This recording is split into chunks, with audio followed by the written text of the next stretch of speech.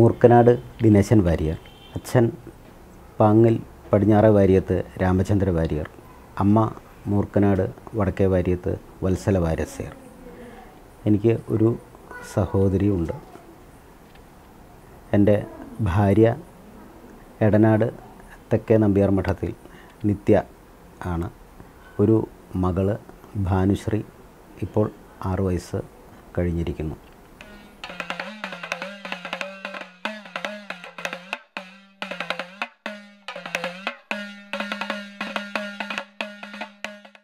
ഞാൻ വാദ്യലോകത്തേക്ക് വളരെ ചെറിയ കാലം തന്നെ കാലെടുത്ത് വെച്ചൊരു വ്യക്തിയാണ്. മൂർക്കനാട് ശിവക്ഷേത്രം ഞങ്ങൾക്ക് കഴകപ്രവൃത്തികളുള്ള ഒരു അമ്പലമാണ്. അവിടെ നന്നേ ചെറിയ കുട്ടിയായിരിക്കുമ്പോൾ തന്നെ ഉത്സവങ്ങളൊക്കെ കാണാൻ പോയി പരിചയമുള്ളതിന്റെ അടിസ്ഥാനത്തിൽ അന്ന് അവിടുത്തെ പ്രധാന വാദ്യക്കാരനായിരുന്ന ശ്രീ മഠത്തിൽ നാരായണൻകുട്ടി മാരാരാണ് എന്നെ ഈ മേഖലയിലേക്ക് കൊണ്ടുവന്നത്. ആശാൻ എന്റെ ആ ഒരു താല്പര്യവും ഒക്കെ കണ്ടിട്ട് എന്റെ കുടുംബക്കാരുടെ പേരൻസിന്റെ അടുത്ത് ഈ കുട്ടിയെ വാദ്യകല പഠിപ്പിച്ചാൽ നന്നായിരിക്കുമെന്ന് പറയുകയും ആശാൻ തന്നെ നേരിട്ട് ഞാൻ മൂന്നാം ക്ലാസ്സിൽ പഠിക്കുന്ന സമയത്ത് രണ്ട് കിലോമീറ്റർ അകലെ താമസിക്കുന്നതായിട്ടുള്ള എന്റെ വീട്ടിലേക്ക് സ്കൂൾ വിട്ട് വരുന്ന സമയം കണക്കാക്കി എത്തുകയും അന്നു മുതൽ തന്നെ കരിങ്കല്ലിൽ പുളിമുട്ടി കൊട്ടിച്ചുകൊണ്ട് എന്റെ ആദ്യ പാഠങ്ങൾ പഠിപ്പിക്കുകയും ചെയ്തു. അങ്ങനെ നാലാം ക്ലാസ്സിൽ പഠിക്കുമ്പോൾ ആ വർഷത്തിലെ നവരാത്രി കാലഘട്ടത്തിലാണ് ഞാൻ തായമ്പ കുട്ടി അരങ്ങേറ്റം കുറിച്ചത്. തുടർന്ന് പത്താം ക്ലാസ് പഠനം വരെയുള്ള കാലഘട്ടത്തിൽ വാദ്യകലയിൽ കാര്യമായിട്ടുള്ള വളർച്ചകളൊന്നും ഉണ്ടായിട്ടില്ലെങ്കിലും ആ കാലഘട്ടത്തിൽ തന്നെ ചെമ്പടമേളവും കേളിയും ഒക്കെ പഠിച്ചിരുന്നു. പത്താം ക്ലാസ്സിന് ശേഷം പ്രീ ഡിഗ്രി പഠന കാലഘട്ടത്തിലാണ് ഇരിഞ്ഞാലക്കുട ക്രൈസ്റ്റ് കോളേജിൽ പ്രീ ഡിഗ്രി പഠിക്കുകയും ഉണ്ണായി വാര്യർ സ്മാരക കലാനിലയത്തിൽ ചെണ്ട പ്രൈവറ്റ് വിദ്യാർത്ഥിയായി അഭ്യസിക്കുകയും ചെയ്തത്. അന്ന് കലാനിലയത്തിലെ കലാനിലയം കുഞ്ചുണ്ണി ആശാനും കലാമണ്ഡലം ശിവദാസ് ആശാനുമായിരുന്നു ഗുരുനാഥന്മാർ.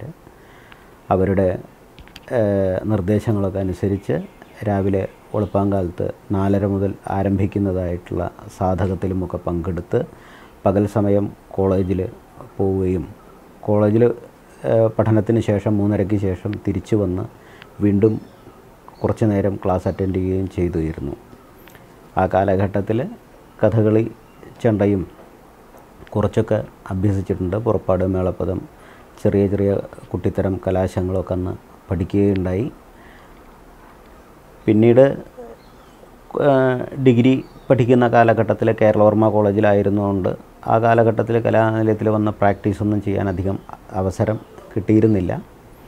എന്നിരുന്നാലും വാദ്യകലയെ ഞാൻ എന്റെ കൂടെ തന്നെ കൊണ്ടുപോയിരുന്നു എല്ലാ കാലഘട്ടത്തിലും. ഏതാണ്ട് എട്ടാം ക്ലാസ് മുതൽക്ക് തന്നെയുള്ള എന്റെ വിദ്യാഭ്യാസത്തിന് വേണ്ട ചിലവുകൾ ഈ വാദ്യകലയിൽ തന്നെ ഞാൻ ആർജിച്ചിരുന്നു എന്നതാണ് ഒരു സത്യം. അങ്ങനെ ഓരോ വർഷം കൂടുതൽ പരിപാടിക്ക് പോവും അടുത്ത വർഷം പഠനത്തിൽ കൂടുതൽ ശ്രദ്ധിക്കും. അങ്ങനെ ഒന്നിടവിട്ടുള്ള വർഷങ്ങളിൽ പഠനവും ഒന്നിടവിട്ടുള്ള വർഷങ്ങളിൽ വാദ്യകലയെയും സ്നേഹിച്ചുകൊണ്ട് മുന്നോട്ട് പോയിരുന്നു. ഡിഗ്രി രണ്ടാം വർഷം പഠിക്കുമ്പോൾ ഞങ്ങളൊരു നിലാവഭ്യാസം ചെയ്യുകയുണ്ടായി. മട്ടന്നൂർ ഉദയൻ നമ്പൂതിരിയുടെ നേതൃത്വത്തിൽ ഇരിഞ്ഞാലക്കുട കുടൽമാണിക്ക അമ്പലത്തിന്റെ മുൻപിൽ ഉള്ള അന്ന് ഒരു മൃദംഗക്കളരിയായിരുന്നു അവിടെ. കൊരമ്പ് സുബ്രഹ്മണ്യൻ നമ്പൂതിരി നടത്തിയിരുന്നൊരു മൃദംഗക്കളരി ഉണ്ടായിരുന്നു. ആ ഗൃഹത്തിൽ വെച്ചിട്ടാണ് ഞങ്ങൾ നിലാവഭ്യാസം ചെയ്യുകയുണ്ടായത്. തൊണ്ണൂറ്റേഴ് തൊണ്ണൂറ്റെട്ട് അധ്യയന വർഷത്തിൽ കർക്കിടക മാസത്തിലായിരുന്നു നിലാവഭ്യാസം. നിലാവഭ്യാസം എന്ന് പറയുന്നത് ഒരു മാസം നീണ്ടു നിൽക്കുന്ന ഒരു അഭ്യാസ രീതിയാണ്. ചന്ദ്രോദയം കണക്കാക്കി ചന്ദ്രാസ്തമയം വരെയുള്ള സമയം ഒരു മാസത്തോളം അഭ്യസിക്കുന്ന രീതിയാണ്. അതായത് സൂര്യൻ അസ്തമിക്കുന്ന സമയം മുതൽക്ക് രണ്ട് നാഴിക നേരം ആദ്യത്തെ ദിവസം. രണ്ടാമത്തെ ദിവസം സൂര്യ അസ്തമിക്കുന്നത് മുതൽക്ക് നാല് നാഴിക നേരം. മൂന്നാമത്തെ ദിവസം സൂര്യൻ അസ്തമിക്കുന്നത് മുതൽക്ക് ആറ് നാഴിക നേരം. ഇങ്ങനെ ക്രമത്തിൽ ഈ രണ്ട് നാഴിക സമയം കൂട്ടി കൂട്ടി കൊണ്ടുവന്ന് പതിനഞ്ചാമത്തെ ദിവസമാവുമ്പോൾ മുപ്പത് നാഴിക അതായത് സൂര്യൻ അസ്തമിക്കുന്നത് മുതൽ സൂര്യൻ ഉദിക്കുന്നത് വരെയുള്ള മുപ്പത് നാഴിക രാവ് മുഴുവൻ അഭ്യാസം ചെയ്യുന്ന രീതി. പതിനാറാമത്തെ ദിവസം വീണ്ടും തുടക്കത്തിൽ രണ്ട് നാഴിക കുറയ്ക്കും പിന്നെ ബാക്കിയുള്ള ഇരുപത്തെട്ട് നാഴിക. പിന്നത്തെ ദിവസം തുടക്കത്തിൽ നാല് നാഴിക കുറയ്ക്കും ബാക്കിയുള്ള ഇരുപത്താറ് നാഴിക. ഇങ്ങനെ ക്രമത്തിൽ കുറഞ്ഞു കുറഞ്ഞു വന്ന് അവസാനം ഇരുപത്തൊമ്പതാമത്തെ ദിവസം വെളുപ്പാങ്കാലത്ത് വരുന്ന രണ്ട് നാഴിക മാത്രം കൊട്ടി ഇത് അവസാനിപ്പിക്കുന്ന ഒരു ഒരു മാസം നീണ്ടു നിൽക്കുന്ന അഭ്യാസ രീതിയാണ് നിലാവഭ്യാസം എന്ന് പറയുന്നത്.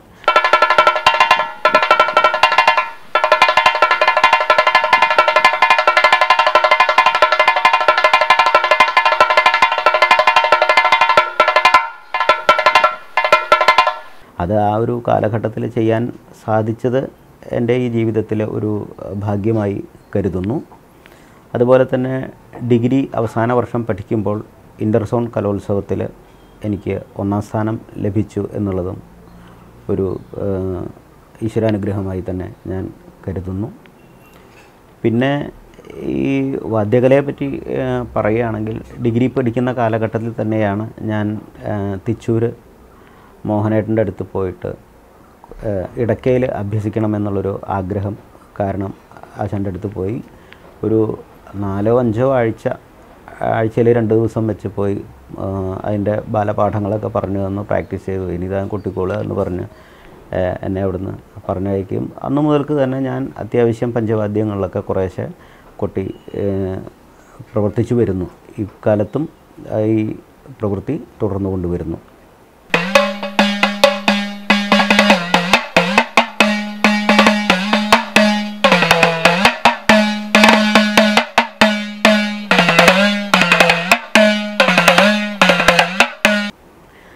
അതുപോലെ തന്നെ തായമ്പയിൽ എനിക്ക് ഉപരിപഠനം മട്ടന്നൂർ ഉദയൻ നമ്പൂതിരിയുടെ കീഴിലാണ് ഞാനത് ചെയ്തിട്ടുള്ളത്.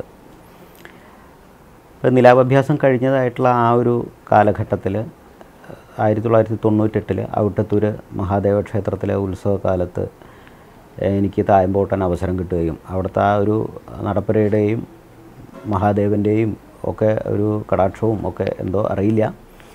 ആ ഭഗവാന്റെ മുമ്പിൽ അന്ന് ഞാൻ കൊട്ടിയൊരു തായമ്പക. എനിക്ക് കൂടുതൽ ആത്മവിശ്വാസം പകരുന്നതായിരുന്നു. എനിക്ക് ഈ മേഖലയിൽ എന്തെങ്കിലും ചെയ്യാൻ സാധിക്കും എന്ന് എന്നെ തന്നെ ബോധ്യപ്പെടുത്തിയ ഒരു തായമ്പയായിരുന്നു അത്. അതുകൊണ്ട് തന്നെ ആയിരിക്കണം. ആ മഹാദേവന്റെ അനുഗ്രഹം കൊണ്ട് തന്നെ ആയിരിക്കണം. ഇന്ന് ഞാൻ ഔട്ടത്തൂർ ഹയർ സെക്കൻഡറി സ്കൂളിലെ ഹയർ സെക്കൻഡറി വിഭാഗത്തിൽ സംസ്കൃത അധ്യാപകനായിട്ട് ജോലി ചെയ്യുകയും കൂടി ചെയ്യുകയാണ്. ഇക്കാലത്തും ഞാൻ ഈ പ്രവൃത്തി രണ്ടും സംസ്കൃതം പഠിപ്പിക്കുന്നതിലും സംസ്കൃതം പഠിക്കുന്നതിലും അതുപോലെ തന്നെ ഈ വാദ്യകലയെ പഠിക്കുന്നതിലും പഠിപ്പിക്കുന്നതിലും പ്രവർത്തിക്കുന്നതിലും ഒക്കെ ആനന്ദത്തോടു കൂടി ജീവിതം നയിക്കുന്നൊരു വ്യക്തിയാണ് ഞാൻ. സ്കൂളിൽ ഇപ്പോൾ ജോലി ലഭിച്ചിട്ട് ഒരു പതിനേഴ് വർഷം പിന്നിട്ടിട്ടുണ്ട്. ഇതിൽ രണ്ട് വർഷം കൊറോണയായിട്ട് കലോത്സവങ്ങളോ കാര്യങ്ങളോ ഒന്നും ഉണ്ടായിട്ടില്ല. ബാക്കി ഞാൻ കയറിയ മുതൽക്ക് പതിനഞ്ച് വർഷത്തോളം കുട്ടികളെ ചെണ്ടമേളം എന്ന വിഭാഗത്തിലും ചില വർഷങ്ങളിൽ തായമ്പകയിലും കുട്ടികളെ പങ്കെടുപ്പിക്കുകയും ഒരു പതിമൂന്ന് വർഷത്തോളം പതിനഞ്ച് വർഷം പങ്കെടുത്തതിൽ പതിമൂന്ന് വർഷത്തോളം ഞങ്ങൾ സ്റ്റേറ്റ് കലോത്സവത്തിൽ പങ്കെടുക്കുകയും എ ഗ്രേഡിന് അർഹത നേടുകയും അർഹത നേടുകയും ചെയ്തിട്ടുണ്ട്. അതുപോലെ കേന്ദ്ര സംഗീത നാടക അക്കാദമിയുടെ കീഴിൽ എനിക്ക് ഒരു ഫെല്ലോഷിപ്പ് ലഭിക്കുകയുണ്ടായിട്ടുണ്ട്. തായമ്പകയിൽ ഉപരിപഠനം നടത്തുന്നതിന് വേണ്ടിയിട്ട് ഒരു ഫെല്ലോഷിപ്പ് ലഭിക്കുകയുണ്ടായിട്ടുണ്ട്. ഈ ഫെല്ലോഷിപ്പോട് കൂടി ഞാൻ തായമ്പകയിൽ കൂടുതൽ ഗവേഷണം നടത്തുകയും ആ ഗവേഷണത്തിന്റെ ഫലമായി ഞാൻ എഴുതി തയ്യാറാക്കിയ കുറിപ്പുകൾ ഒരു പുസ്തകമായിട്ട് തായമ്പക ഒരു അനവദ്യ വാദ്യകല എന്ന പേരിലൊരു പുസ്തകമായിട്ട് കേരള സംഗീത നാടക അക്കാദമി അത് പബ്ലിഷ് ചെയ്യുകയും ചെയ്തിട്ടുള്ളതാണ്. രണ്ടായിരത്തി പന്ത്രണ്ടിലാണ് അത് പബ്ലിഷ് ചെയ്തിട്ടുള്ളത്.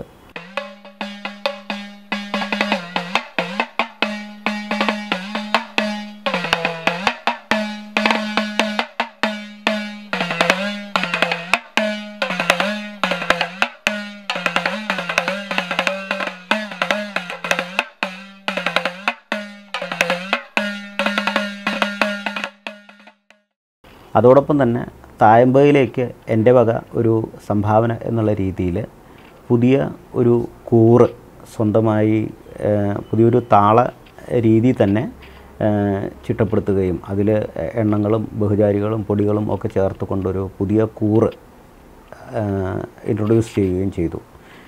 രണ്ടായിരത്തി പന്ത്രണ്ട് പതിമൂന്ന് കാലഘട്ടത്തിലാണ് ഞാൻ ഈ കൂറ് പുതിയതായിട്ട് അവതരിപ്പിച്ചിട്ടുള്ളത്. അതും കൂടൽമാണിക്യസ്വാമിയുടെ തിരുനടയിലാണ് എനിക്ക് ആദ്യമായിട്ട് അത് അവതരിപ്പിക്കാൻ അവസരം ലഭിച്ചിട്ടുള്ളത്. ഇവിടെ ഇരിഞ്ഞാലക്കുട പ്രവർത്തിക്കുന്ന പല്ലാവൂർ അപ്പുമാരാർ സ്മാരക വാദ്യ ആസ്വാദക സമിതിയുടെ നേതൃത്വത്തിൽ വർഷം തോറും നടത്തി വരാറുള്ള തായമ്പകോത്സവങ്ങളിൽ ഒരു തായമ്പകയ്ക്കാണ് എനിക്കത് ആദ്യമായി അവതരിപ്പിക്കാൻ അവസരം ലഭിച്ചിട്ടുള്ളത്. അതിന് ശേഷവും ഈ കൂറ് ഇപ്പോൾ ഉദയേട്ടനൊക്കെ അത് കൊട്ടാറുണ്ട്. ശ്രീകരം എന്നാണ് കൂറിന്റെ പേര്. പന്ത്രണ്ട് അക്ഷരത്തിലുള്ള ശ്രീകരം എന്ന് പറയുന്ന ഒരു കൂറ്. പൊതുവിൽ വാദ്യലോകത്ത് ചർച്ച ചെയ്യപ്പെടുന്നതും സ്വീകാര്യവുമായിട്ടുള്ള ഒരു കൂറാണ് ശ്രീകരം എന്ന് പറയുന്ന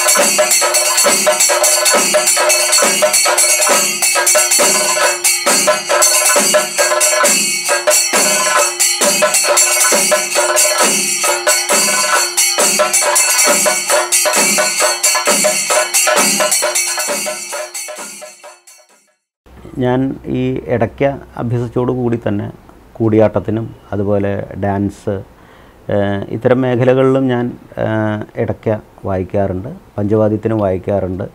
എന്തു തന്നെയായാലും ഈശ്വരകടാക്ഷവും ഈ കലയോടുള്ള എന്റെ സ്നേഹവും നിമിത്തം തന്നെ കേരളത്തിൽ മാത്രമല്ല ഇന്ത്യക്കകത്ത് പല പല സ്ഥലങ്ങൾ ഡൽഹി അഹമ്മദാബാദ് ഗാസിയാബാദ് ഉജ്ജയിൻ ഇൻഡോർ അതുപോലെ ബോംബെ മദ്രാസ് തുടങ്ങിയിട്ടുള്ള പല പല സ്ഥലങ്ങളിലും എനിക്ക് ചെണ്ടയായിട്ടോ ഇടയ്ക്കയായിട്ടോ പ്രവർത്തിക്കാൻ സാധിച്ചു എന്നുള്ളത് വലിയ അനുഗ്രഹമായിട്ട് ഞാൻ കരുതുന്നു. ഇന്ത്യയ്ക്ക് പുറത്തും ഒരു പ്രാവശ്യം എനിക്ക് പോകാൻ സാധിച്ചിട്ടുണ്ട്. ഒരു ഗൾഫ് രാജ്യമായിട്ടുള്ള ദുബായ് ഭാഗത്ത് എനിക്കൊരു യാത്ര തരായിട്ടുണ്ട്. ഒരു മേളത്തിൽ പങ്കെടുക്കാൻ സാധിച്ചിട്ടുണ്ട്. എന്തായാലും ഈ ഒരു മേഖലയിൽ പ്രവർത്തിക്കുന്നത് കൊണ്ട് ഈശ്വരാനുഗ്രഹം കൊണ്ട് ആനന്ദപൂർണമായിട്ടുള്ള ജീവിതം നയിച്ചുകൊണ്ടിരിക്കുന്നു. നമസ്കാരം.